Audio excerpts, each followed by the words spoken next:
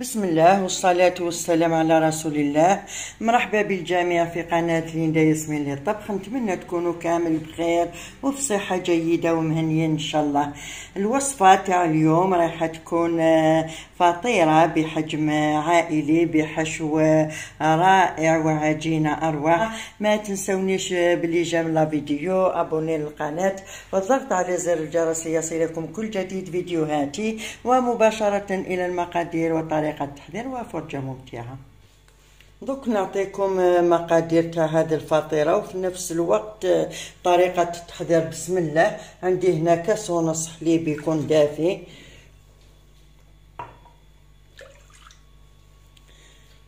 ربع كاس تاع زيت زيتون. حبيتو ديرو زيت عادي كيما حبيتو.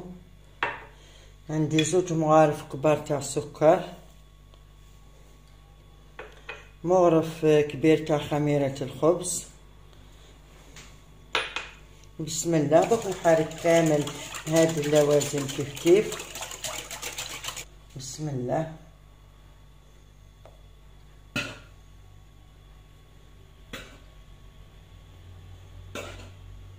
هكذا طبعا الفارنة حسب الحاجة. عندي هنا شوية تاع الملح.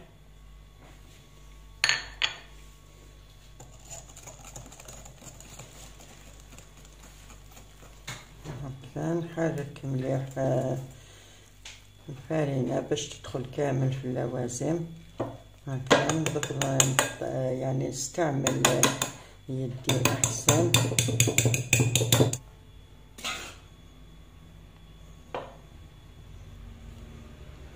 هكذا ندير في الفارينة حتى نتحصل على عجينة تكون طرية ما تكونش يابسة. باش هكذاك الفطيرة تاعنا تجي خفيفة وتجي هشيشة هاي ليك دوك العجينه تاعي بعد ما لميتها كيفاش راهي؟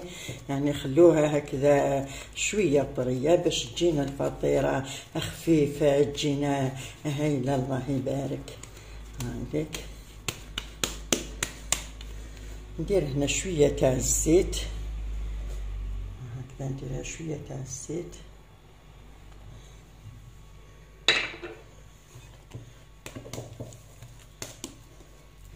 نغطي الفطير نغطي العجينة تاعي ونخليها تخمر.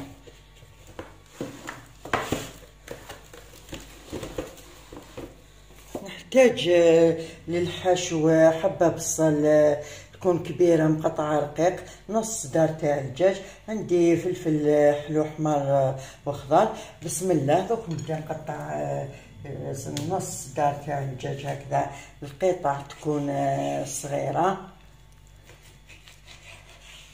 بسم الله هنا في مقلة رايحة ندير حوالي ثلاثة حتى لأربع مغارف تاع الزيت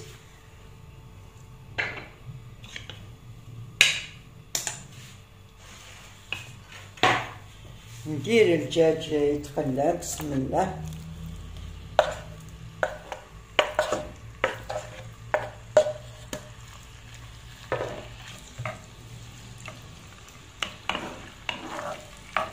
نخلي الدجاج يتقلى شوية في الزيت.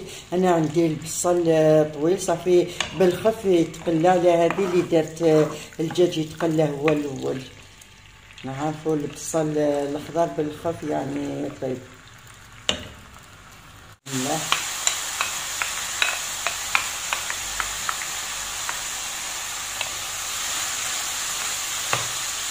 نزيد الفلفل. فلفل حلو طبعا.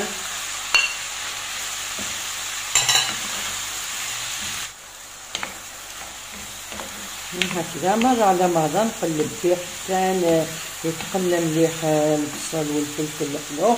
دوك رايحة نضيف التوابل. بسم الله. فيه شوية تاع الملح. عندي هنا كابل خاص بالدجاج. ندير شوية.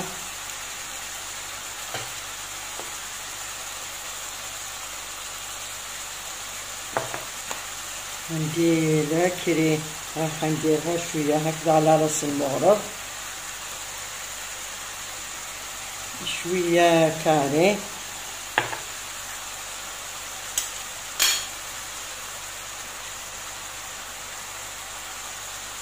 وشويه فلفل كحل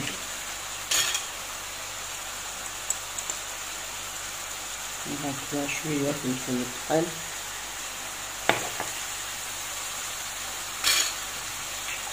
دوك نقص للنار نخليه على نار قليله يتقلى مليح حتى يطيب بلا ما بلا ما ندير الماء.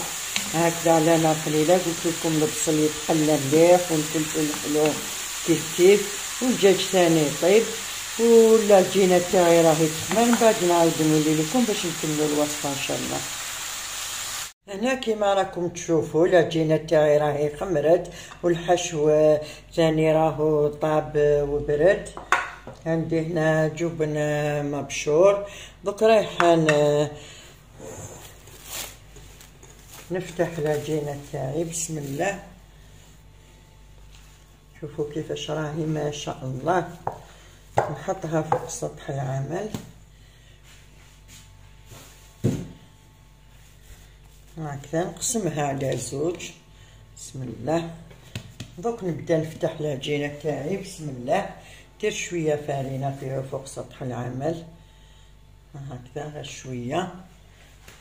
واسطة الحلال. رايحة نفتح العجينة تاعي دائرة الشكل. على حساب السنيوة اللي عندي هايليك راني درت لها ورق الطهي هكذا من تحت. هكذا راني فتحت العجينة تاعي على حساب السنيوة هايليك. بسم الله دوك نرفدها.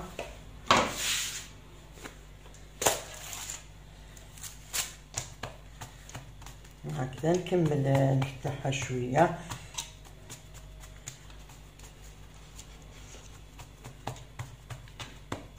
هكذا حتى تلحق نسقمها مليح. هكيك. دوك رايحه ندير الحشو.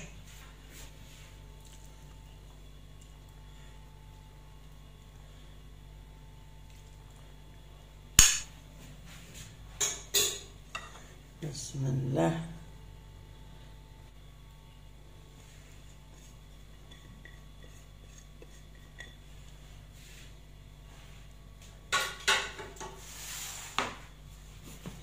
ندير دايما شوية تاع فرينة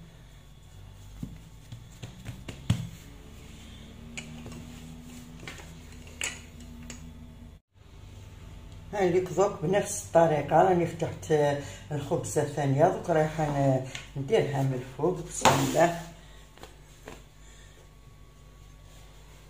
عندك. يعني طريقة سهلة مهلة ونتحصلوا في الأخير على فطيرة. روعة روعة. الله يبارك روعة. هكذا. دوك في الأطراف. أنا راني خليت هكذا شوية برك هكذا باش نلصق الفطيرة تاعي. ما نحبش هكذاك الأطراف كامل نخلو فيهم بزاف هكذا ما يكونش فيهم الحشو. من بعد ما ياكلوهمش كي يلحقوا الطرف ما ياكلوش. أنا دنيت هكذا شوية الطرف خليت غير شوية باش هكذا كان نلصق الفطيرة تاعي. بسم الله. هكذا بواسطة الأصابع نضغطوا مليح هكذا كامل على الأطراف. باش الحشو تاعنا ما يخرج لناش في الفرن. هكذا. هاليك دوك نغطيها بالطرشونة نخليها تريح هكذاك واحد ربع ساعة من بعد نعاود نولي لكم إن شاء الله. بعد ربع ساعة كيما راكم تشوفوا الخبزة تاعي راهي تخمر. دوك رايحة نطراسيها بسم الله غير بيدي هكذا بأطراف الأصابع بسم الله. هكذا. نحاول نقسمها على ثمانية. دوك هنا عندي صفار حبة بيض زوج مغارف تاع حليب شوية قهوة سريعة الذوبان رايحة ندهن به كامل الخبز الفطيرة تاعي. هكذا بواسطة ال pinceau رايحة ندهن ندهن كامل الخبزة تاعي. بسم الله. أنا راني شعلت ال four راهو سخون. ال four تاعي شغال يشعل غير من جهة واحدة راني شعلته من التحت كي طيب لي من التحت من بعد نعاود نشعلو من الفوق باش تحمر لي وتدي لون شباب من بعد نعاود نولي لكم باش تشوفوها في التقديم إن شاء الله. مباشرة دوك بعد ما خرجت الفطيرة تاعي من الفرن شوفوا كيفاش راهي تحمرت. ما شاء الله يعني جات روعة. الله يبارك. دوك رايحه ندير لها شوية تاع زيت زيتون. بسم الله. هكذا غير شوية. واسطة بانسو رايحة نطليها كامل. هكذا الطريقة. شوفوا المنظر والألوان. والعجينه كيفاش راهي خفيفة شوفوا كيفاش الفطيرة عفوا كيفاش جات خفيفة العجينه تاعها. ما شاء الله صدقوني وصفة ولا أروع. هذه الوصفة ديروها في عينيكم يعني وصفة ديروها تاع ماشي حاجة وصفة اللي تشد اليد بالخف يعني توجدوها هاي خاصة دوك رانا في الصيف العجينه تخمر بالخف. شوفوا شوفوا الروعة ما شاء الله ما شاء الله. والله نتمنى من كل قلبي أنكم تجربوها كامل. يعني وصفة تستحق التجربه وتستحق لجام وتستحق ثاني المشاهدة الكاملة. وصفة صدقوني قد ما شكرت فيها يعني قليل. دوك ما تنسونيش حبيبات قلبي بلي جام لا فيديو أبوني للقناه والضغط على زر الجرس ليصلكم كل جديد فيديوهاتي. وإلى الملتقى إن شاء الله مع فيديو آخر من فيديوهات ليندا ياسمين للطبخ